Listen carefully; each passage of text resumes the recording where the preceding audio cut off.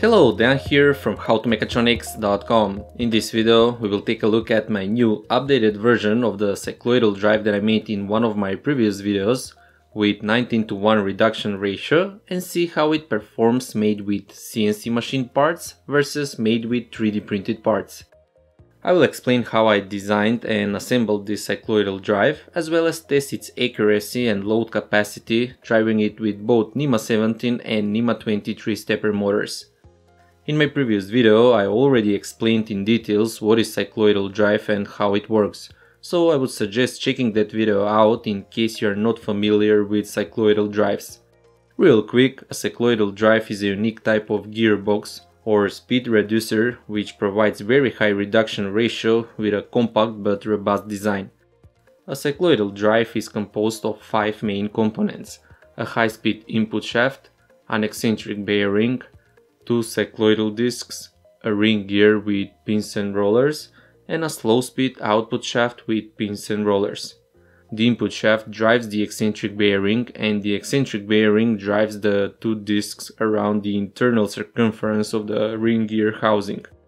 The eccentric motion makes the cycloidal disc teeth or lobes engage with the rollers of the ring gear housing in a way that they produce reverse rotation at a reduced speed. The reduction ratio depends on the number of pins on the ring gear. Again, you can find more detailed explanation in my previous video, as well as see the 3D printed prototype that I made for that video. It had 15 to 1 reduction ratio with 115mm diameter.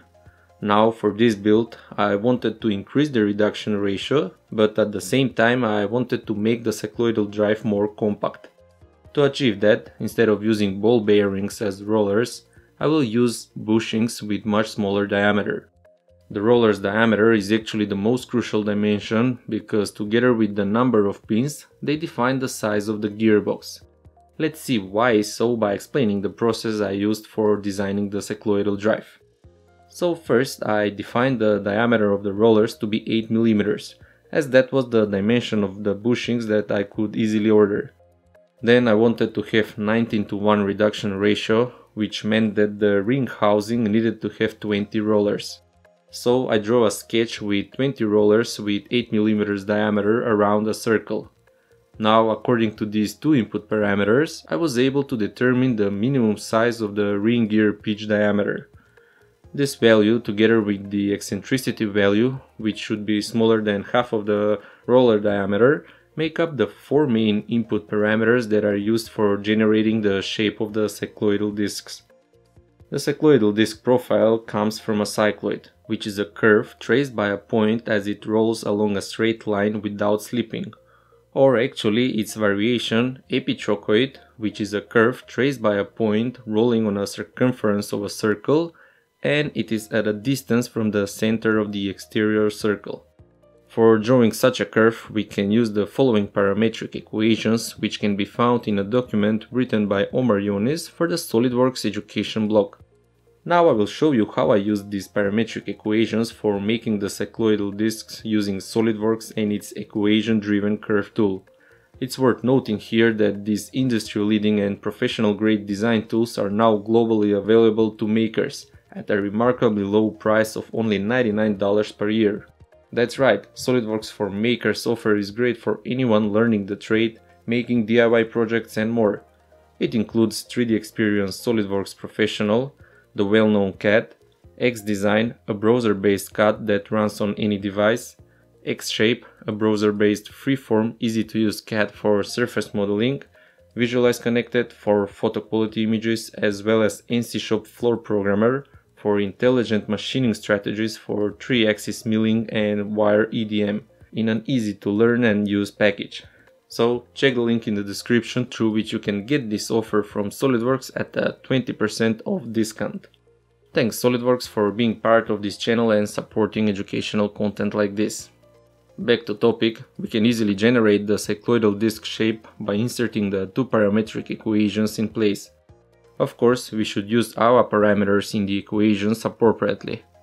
As for the t parameters, we should use values from 0 to 2 pi, though we should note that we need to use a slightly smaller value than 2 pi in order the curve to be generated. This will generate the curve with a little gap which can be easily connected with a spline. Then we can simply extrude the profile and make holes for the eccentric bearing and the output pins. The diameter of these output holes is equal to the pin roller's diameter plus 2 times the eccentricity. In this case that's 8 plus 2 times 1 equals 10 mm diameter. Nevertheless, let's build this cycloidal drive now and see how it works in real life with both CNC machined and 3D printed parts. You can find and download the 3D model of this cycloidal drive as well as some drawings needed for manufacturing the parts and the STL files needed for 3D printing on the website article. The link is in the video description. I ordered the CNC machine parts from PCBWay, which are also the sponsor of this video. Along their PCB manufacturing services, they also offer CNC machining, 3D printing, sheet metal fabrication and injection molding services. Ordering the parts is super easy, we just have to upload the 3D model and select the material for the part. They have pretty much any material available. I chose aluminum for most of the parts except for the cycloidal discs which I wanted to be made out of stronger material, so I chose stainless steel for them. We also have the option to choose various surface finishes, like anodized, brushed, spray painting and so on, as well as choose surface roughness and tolerances. For those parts that I needed tighter tolerances than the standard one, I also included drawings which contained the specific tolerances that I required we can add multiple parts and request a quote for each of them in a single order. Once I ordered the parts, they arrived within the estimated time and well packed, each item separately protected. I must say that it's quite satisfying to have something that you have designed manufactured in metal. The parts look great and everything is exactly the same as in the design. So make sure you check the link in the video description and visit PCBWay website to learn more about their services. Thanks PCBWay for being part of this channel and supporting educational content like this. Nevertheless, for the 3D printed version, I made the parts myself using a PLA material. When 3D printing the parts, it's important to use the hole horizontal expansion feature in your slicing software. Usually the holes of the 3D printed parts are smaller than the original size, so with this feature we can compensate that and get more accurate dimensions. I set mine to 0.07 and the horizontal expansion feature, which compensates for the outer dimension of the parts, to 0.02. Of course, you should do some test prints to see what values will give you the most accurate results on your 3D printer. Okay, so let's move on with assembling the cycloidal drives. Here I have all of the parts. I will start with assembling the CNC machined version first and then the 3D printed one. I started with securing the shaft coupler on the NEMA 17 stepper motor. The shaft coupler should be at a distance of 2 mm from the motor front plate and we can easily secure it using two grab screws. Then we can secure the base plate to the stepper with 4 M3 bolts. Next, it goes the biggest part in this assembly, the ring gear roller housing. Here we need to install the rollers, which in this case are bushings with 8mm diameter and should be 20mm long. However, I couldn't find that dimension at the time of ordering, so here I am using two bushings with 10mm length. The pins on which these bushings are installed are 6mm in diameter and have a length of 30mm. The holes at the bottom of the housing are dimensioned to make tight fit with the pins so that they stay firmly in place. Therefore, here we need to use some force in order to install them. So here they are 20 rollers which will give us 19 to 1 reduction ratio. The ring gear housing goes on top of the base plate and here first we need to insert a distance ring which will hold the output rollers in place. Next, we can install the eccentric shaft which goes on the NEMA 17 shaft coupler. Actually, before we install it, we need to insert the two bearings with 17mm inner and 26mm outer diameter. You see, everything fits perfectly. I set the tolerances where the bearings go to be an interference fit in order the bearings to stay firmly in place. That's why I had to use some force here in order to insert them. This assembly represents the eccentric bearing. Then we can install the two cycloidal discs on the eccentric bearing. These are also interference fits and we need to use some force to install them. This fit was even tighter because I ordered the cycloidal discs to be powder coated by mistake, so they had a bit more material and the tolerance was not correct. Nevertheless, we can also install a distance ring between the two cycloidal discs in order to keep them in place in case the fit between the bearing and the discs loosen up. We can then insert this assembly as a whole into the housing or one disc at a time. This fit between the cycloidal discs and the ring gear rollers is crucial as it defines how well the drive will perform. As I was trying to make this fit as tight as possible in order the drive to have minimum backlash, I encountered a problem as the discs couldn't fit. The problem was caused because I didn't make any clearance or offset to the cycloidal disc profile that I got from the parametric equations. And in addition to that, I ordered the disc powder coated, which also increased their size. On top of that, the bushings that I had were not that good and had slightly bigger diameter than 8mm.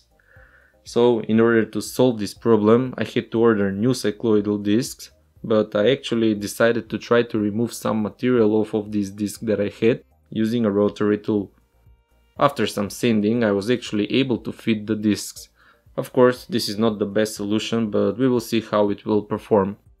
Nevertheless, when inserting the two discs in the housing, they must be placed 180 degrees out of phase. There's a hole in the discs which can be used for positioning them correctly we should flip one disk and align the two holes together. Once inserted, we can power up the motor and see how the discs work in combination with the eccentric bearing and the ring gear rollers. The cycloidal discs rotate with eccentric motion opposite to the input shaft and with 19 times slower speed. Now this eccentric motion will be transferred to the output shaft through the 6 holes in the cycloidal discs. Here's the output shaft we need to secure 6 pins on which the bushings will go. The pins are 6mm in diameter and 20mm long.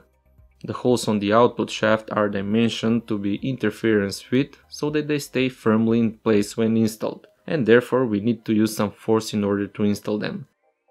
Once we secure the pins, we can insert the 8mm bushings. Here we need 15mm long bushings, but at the time of making this project I couldn't find that dimension so I used 10mm bushings but inserted some washers for compensation. I actually used just one washer instead of the two as shown in the video. However, I will include links for all of the components needed for this project with the correct dimensions. Before inserting the output shaft in place, we need to insert a distance ring and a bearing which will support both the input and the output shaft. Then we can just insert the output shaft into the cycloidal disc's hole. On the output shaft, we need to insert one more distance ring and a bearing with 35mm inner diameter. We can finally finish the assembly by inserting the housing lid on top of everything and secure it with 6 M6 bolts with 45mm length. And that's it, the cycloidal drive is now fully assembled. I really like how it turned out. Now as for the 3D printed version, we can follow the exact same procedure for assembling it. One additional step here is that we need to install some threaded inserts to the output shaft so that we can attach things to it. So now that we have the two cycloidal drives ready, it's time to put them through some tests and see how they perform. A quick note before we see the tests, the weight of the CNC machined version is considerably higher than the 3D printed one. Okay, so I will start by testing how much torque these cycloidal drives can output. Here I put the two drives side by side and I'm measuring the force they can produce at a distance of 10 centimeters. They both outputted a force of around 45 newtons at a distance of 10 centimeters, which translated to torque, it's around 450 newton centimeters of torque. Though the CNC machined one was giving a little bit higher and more consistent results. On the other hand, these NEMA 17 stepper motors are rated at 28 newton centimeters, which means that we got around 16 times torque increase. That's efficiency of around 85% considering that the reduction ratio is 19 to 1 and in ideal conditions we should get 19 times torque increase. Nevertheless, let's see how they will perform when we will attach NEMA 23 stepper motors to them. I designed this cycloidal drive so that we are able to use them with both NEMA 17 and NEMA 23 motors. However, in order to keep the design as compact as possible, the swap from NEMA 17 to NEMA 23 requires some work. We have to disassemble some of the parts and change the base plate to fit the NEMA 23 holes. We also need to use another shaft coupler as the NEMA 23 has a bigger shaft. Basically, we just need to change these two parameters and put everything back together. I changed the stepper motor to NEMA 23 on the 3D printed version as well. Here, when I disassembled the gearbox, I noticed that the cycloidal discs have already started to show some wear.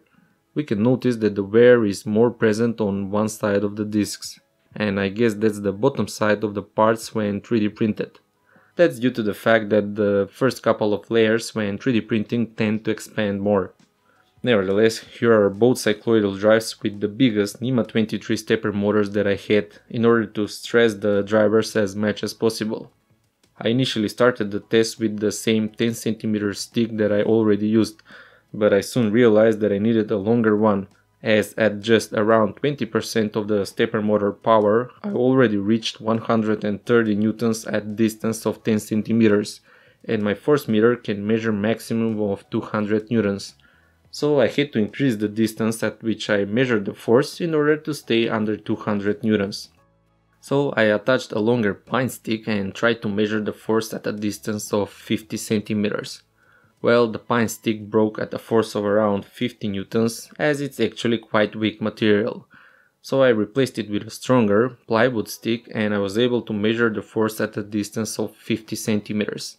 I got a reading of around 60 newtons, which translated into torque is around 3000 newton centimeters, or 30 newton meters of torque.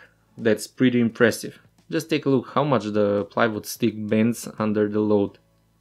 When measuring the force at a distance of 20 centimeters, I got a reading of around 170 newtons, which is around 34 newton meters of torque.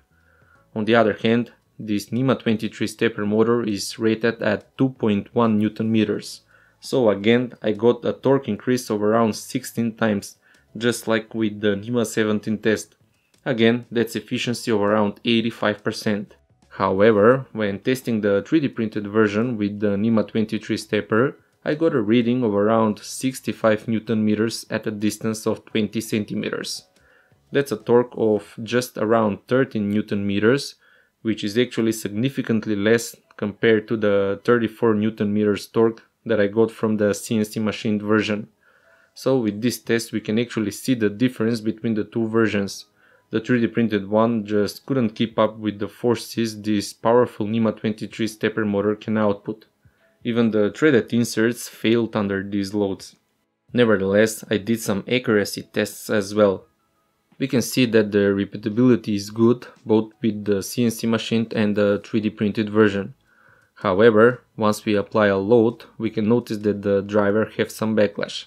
The CNC machined version had a better results showing around 4 mm play at a distance of around 12 cm when force applied in both directions, whereas the 3D printed version showed a play of 7 mm at a distance of around 15 cm. This play of the shaft or the backlash is present because the bushing's dimensions were not that accurate, as well as the fact that I was manually sending the disc profile because I ordered them powder coated by mistake. Because of the same reason, we can also notice how inconsistent this backlash is. Some positions on the shaft have more backlash than others. Nevertheless, we can definitely get better results if we use better bushings and have the cycloidal disc profile machined with the proper dimension and clearance. Of course, the 3D printed version precision can be also improved by printing the cycloidal drive more precisely. We can achieve that by experimenting with the horizontal expansion feature when 3D printing the parts and for better durability we can design the discs to be wider and have better contact surface. I would definitely try to implement this type of cycloidal drives in some of my future videos when making some robotics projects. I hope you enjoyed this video and learned something new. Don't forget to subscribe and for more tutorials and projects visit howtomechatronics.com.